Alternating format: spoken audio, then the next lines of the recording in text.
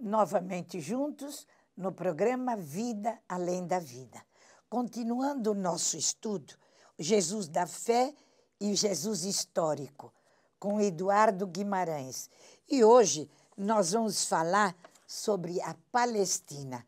É encantador falar de um país, do local onde Jesus tenha passado, pisado, locais, pedras, é, árvores. E é o nosso Eduardo Guimarães que nos vai conduzir nesta viagem. Dona Nena, mais uma vez, esse é o nosso último programa sobre esse assunto e já deixando saudade né, com a gente, porque o assunto é vasto. Isso é um material que nós temos feito um seminário de 10 horas e aqui, em talvez menos de uma hora, juntando os programas todos, nós tivemos de dar uma, uma pincelada sobre essa questão. Então, já fico triste porque é o último programa e tem muito material para a gente falar. E nós também ficamos tristes, Eduardo. É, a Palestina, né, o, o país de Jesus, é, é, o, não aparece no Novo Testamento, né? Em hora nenhuma o, eles falam da, da, Palestina. Falam de Canaã, né, a terra prometida, mas a Palestina ela não aparece. A Palestina era, era, era, era uma faixa estreita, ela tem ao, dividido, podemos dividir em três regiões, mais é, ao norte a, a Galileia, na região central a Samaria e no sul, mais ao sul, a Judéia. Então são essa, essas três regiões, né? Uh, a Galileia que vai ter uma influência grega, vai ter é um, é um ambiente mais flexível, um ambiente mais é, vamos dizer mais light, né? Usando a terminologia atual e que e vai e Jesus vai gostar muito daquele ambiente, já que a vida sua ele vai estabelecer-se em Carfanaum, ele nasce em Nazaré, que é Galileia, e vai se estabelecer em Carfanaum também, que é na Galileia.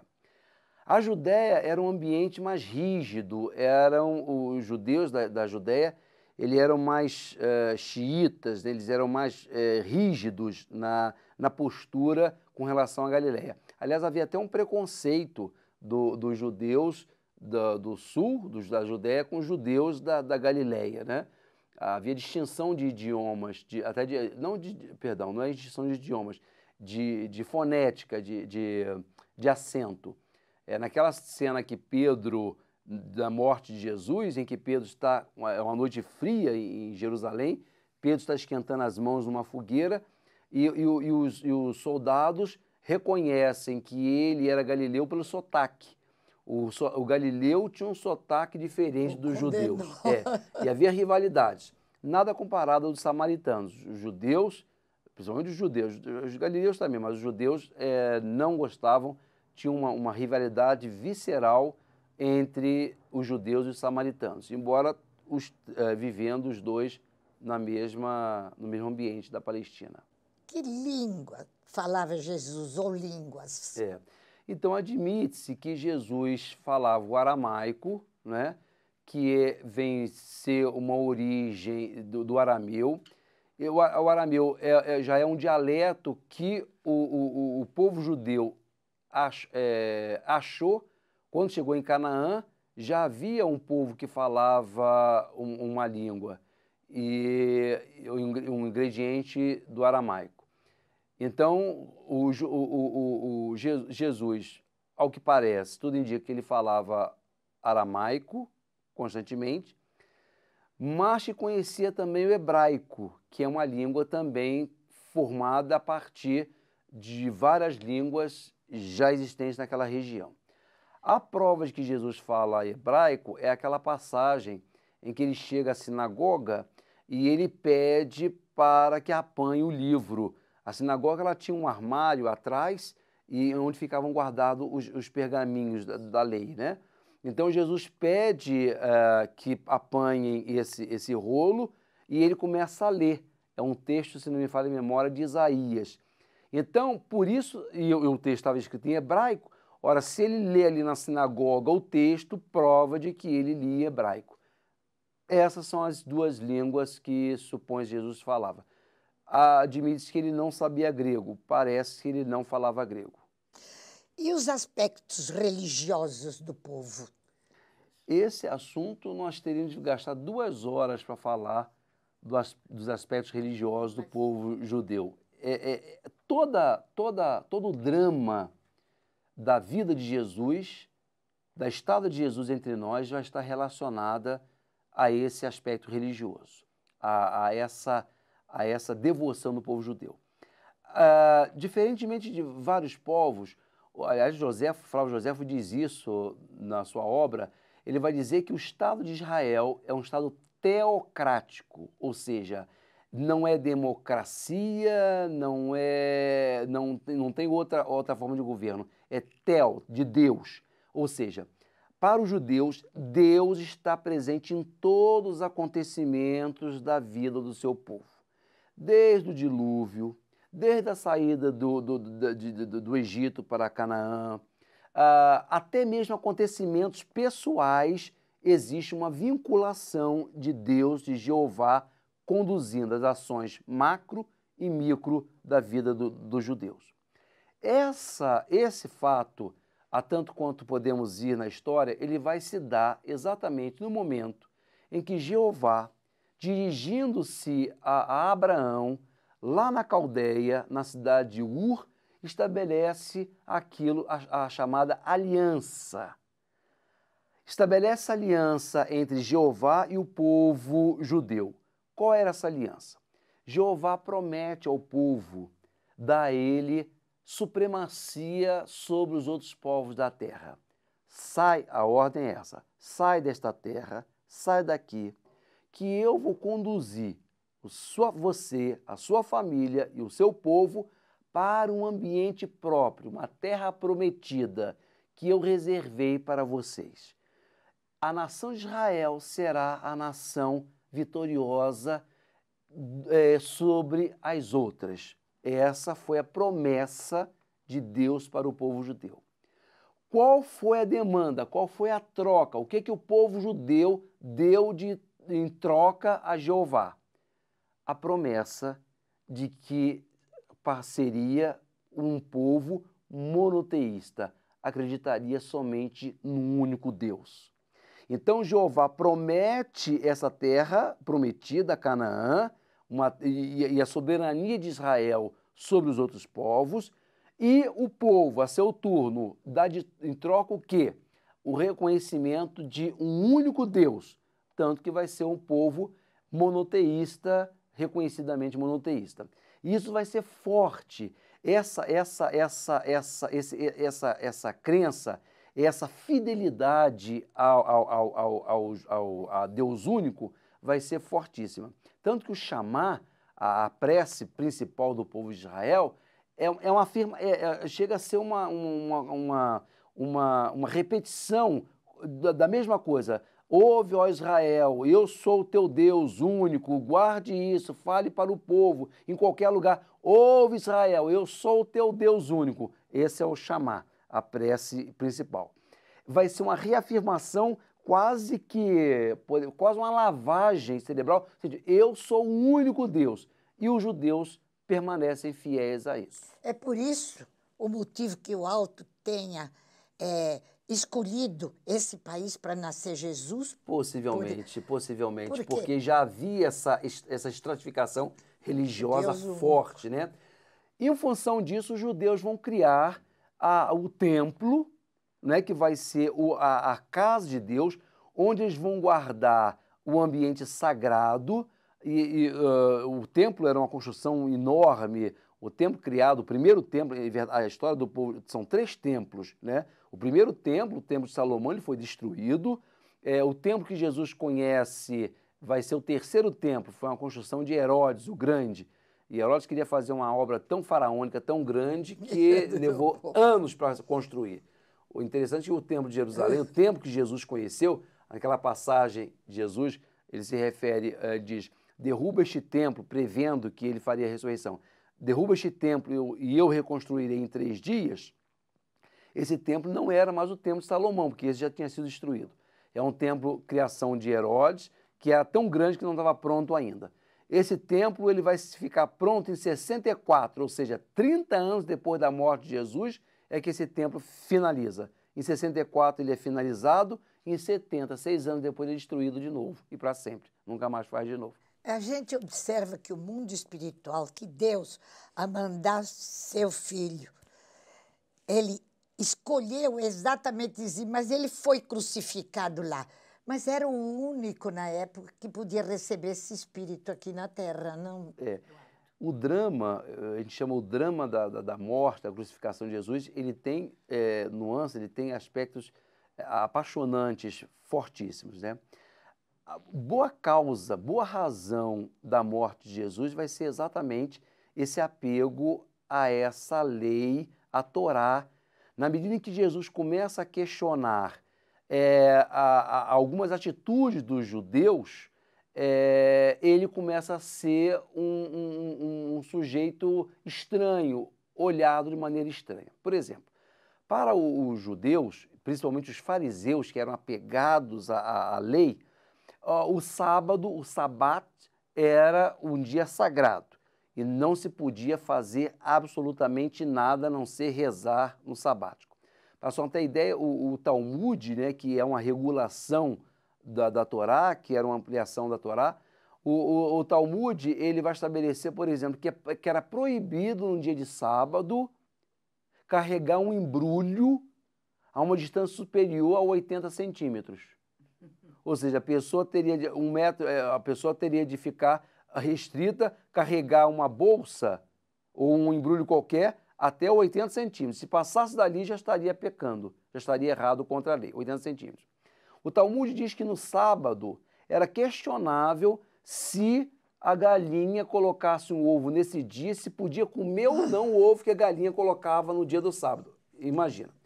Jesus vai simplesmente é, é, desprezar esses, essas questões pequenas. Pequenas. Não a lei como um todo, porque ele diz, eu, eu, eu, vim, eu, eu, eu não vim derrogar a lei, mas essas questões pequenas ele vai, ele vai simplesmente, é, não vai se importar, e ele vai realizar as curas, várias curas no dia de sábado.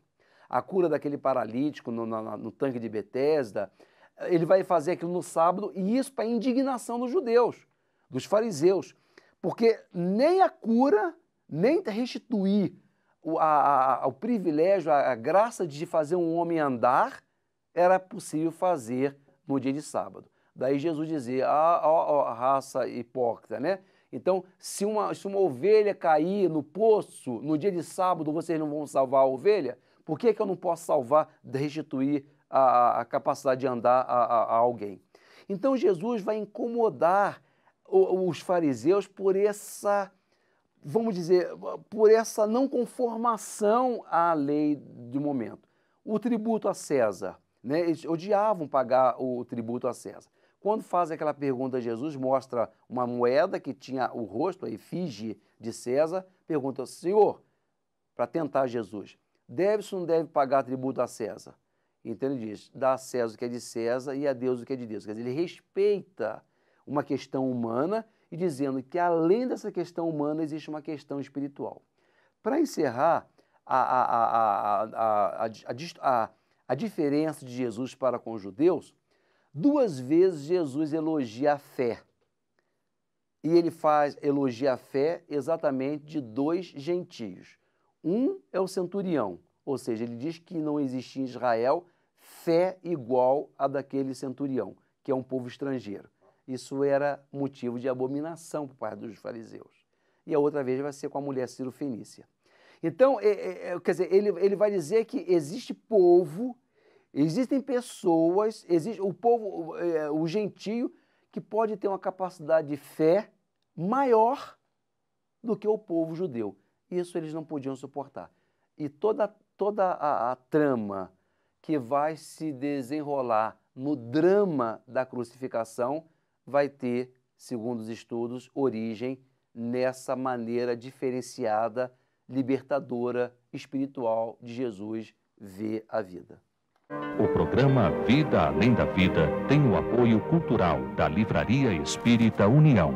Adquira estas e outras importantes obras na Livraria Espírita União.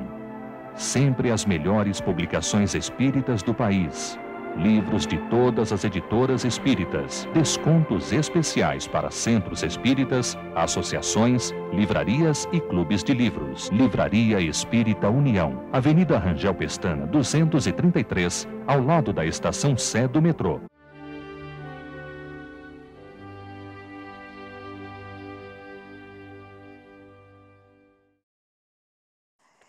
A morte de Jesus está ligada a estas diferenças que ele naturalmente falava. Na verdade, o porquê incomodava Jesus era essa discrepância com essas coisas pequenas que eles traziam. Exatamente. Eles viam. Primeiro, depois, um outro aspecto que eu esqueci de falar é que Jesus se dizia o, o Messias, né? Que vem de Mexias, o Cristo. Cristo é a palavra grega quer dizer ungido. Então, eles não podiam aceitar Jesus como sendo o ungido, o Cristo, o, o libertador de Israel, porque eles esperavam que viesse um, um homem dotado de um exército poderoso, de arte de guerra, para libertar o povo judeu do jugo romano e levar e fazer cumprir a promessa de Jeová para Abraão, colocar Israel num ponto de relevância em relação, em relação às outras nações.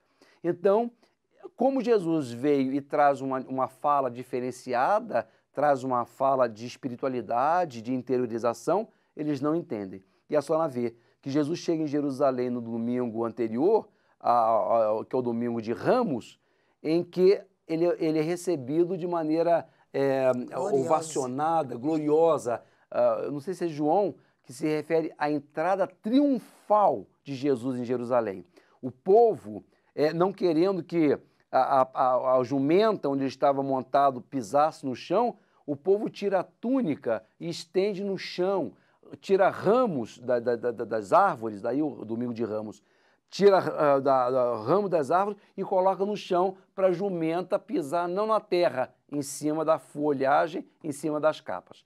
Isso uma semana antes cinco dias depois está se tramando a morte de Jesus. Quer dizer, há essa decepção, há essa frustração deles com relação àquilo que o, aquele homem estava trazendo. Mas o movimento já estaria se preparando, porque cinco dias é, era muito pouco, é. É, é. já devia estar incomodando. Já há muito tempo. Há várias passagens, infelizmente não há tempo, mas há vários momentos em que os fariseus anotavam, quando eu digo anotar, não é escrever, prestavam atenção em alguma fala ou em algum feito de Jesus e aquilo como sendo uh, o que o, Daniel Hope chama de motivo de contradição.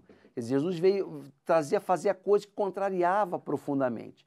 E aí, numa quarta-feira, estabelece a, a, a, Judas, vai ser, uh, estabelece o pagamento de Judas, a traição, que João relata, e na quinta-feira vai ocorrer a, ceia, a última ceia, né? a última reunião de Jesus, vai se dar na quinta-feira à noite. Nesse dia, Jesus depois vai para o, para o, o, o horto orar, né?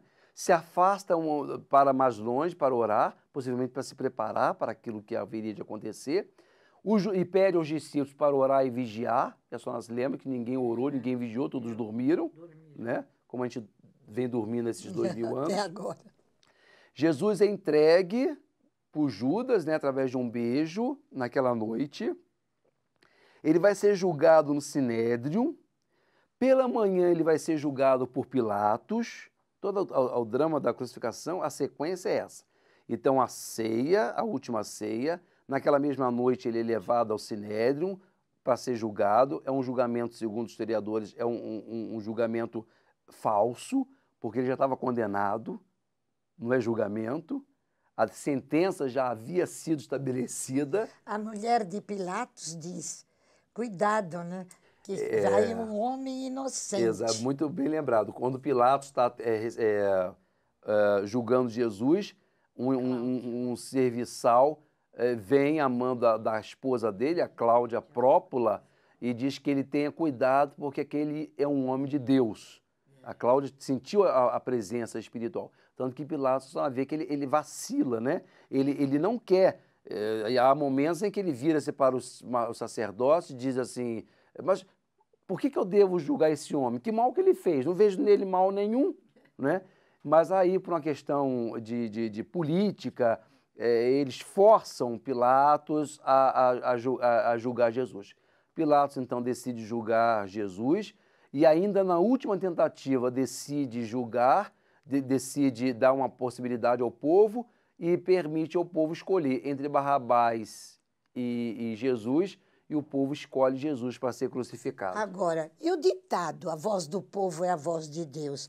Nessa hora. É, é, é problemático. É, Como é, seria? É, é, difícil a gente imaginar que seja isso, né? Que, Porque o povo escolheu, né? Foi Jesus para ser crucificado. Ele lavou-se as mãos. É verdade. Então, entre a justiça e a voz do povo, Jesus estava. A voz do povo na época não era a voz não de Deus. Não era a voz de Deus. O povo possivelmente é, manietado, né, influenciado por quem de direito, acabou optando pela, pela morte de Jesus. Que depois vai começar o drama, né, a, a primeira flagelação vai ser com frago, que eram 40 chibatadas de, que Jesus recebeu.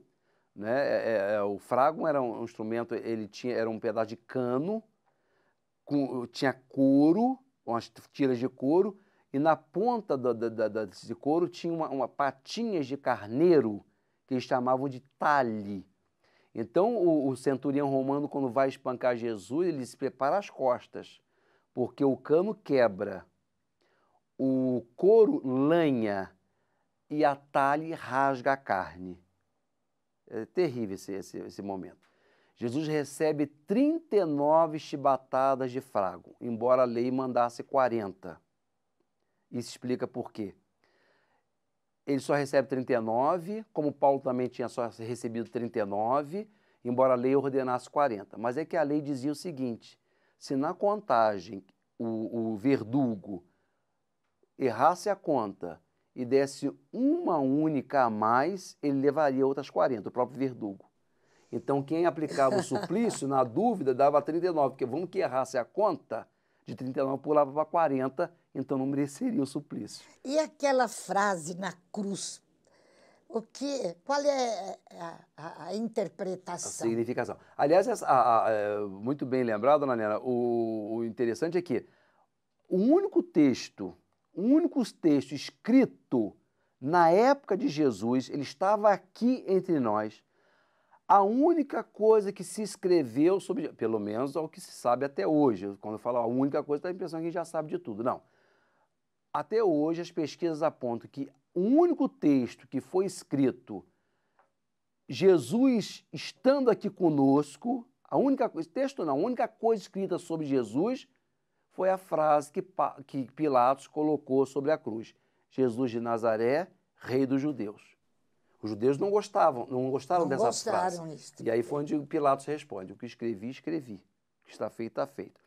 Então, a única coisa que se escreveu sobre Jesus, enquanto ele estava aqui, é essa frase sobre a cruz. Jesus de Nazaré, rei dos judeus. Você não acha, na fraqueza de Pilatos, ele deixou uma lembrança muito grande. Tinha que ser cumprida a lei. Então, mesmo advertido pela esposa, ele não renunciou aos poderes políticos. Mas nesta frase, ele deixou claro, depois de dois mil e poucos anos, que ele é rei dos judeus e nosso também. É verdade. Não, o, o drama da, da, da, crucificação vai ter esse, esse aspecto realmente extraordinário. É Pilatos, e ele, ele falei, né, que ele disse, esse homem não fez mal nenhum, por que devo condenar esse homem? Ele tenta até sair, e assim, mas e a culpa? Os judeus assumem, a culpa fica conosco queremos, queremos justiça. Eles obrigam a Pilatos a, a condenar. Jesus é crucificado né, na sexta-feira, passa-se o sábado e no domingo ocorre o fenômeno né, da, da ressurreição.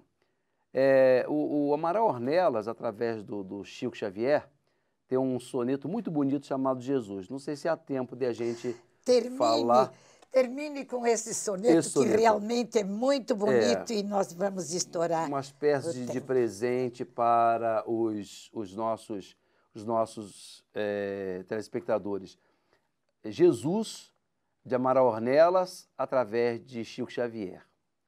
Reis, juízes, heróis, generais e tiranos, entre ouro e o poder de vitória em vitória, comandaram na terra a vida transitória, erguendo sobre os povos os braços soberanos. E passaram, fremindo, arrojados e insanos, ébrios de ostentação e famintos de glória detendo-se, porém, nos túmulos da história, relegados à dor de cruéis desenganos. Mas o Cristo, na palha humilde e pequenino, traz consigo somente o coração divino, na exaltação do bem que ilumina e socorre. E brilhando, como o sol generoso e fecundo, em todas as nações que engrandecem o mundo, é sempre o excelso Rei do amor, que nunca morre. Vida além da vida fica por aqui. Até a próxima semana. Com muito obrigado a você, Eduardo.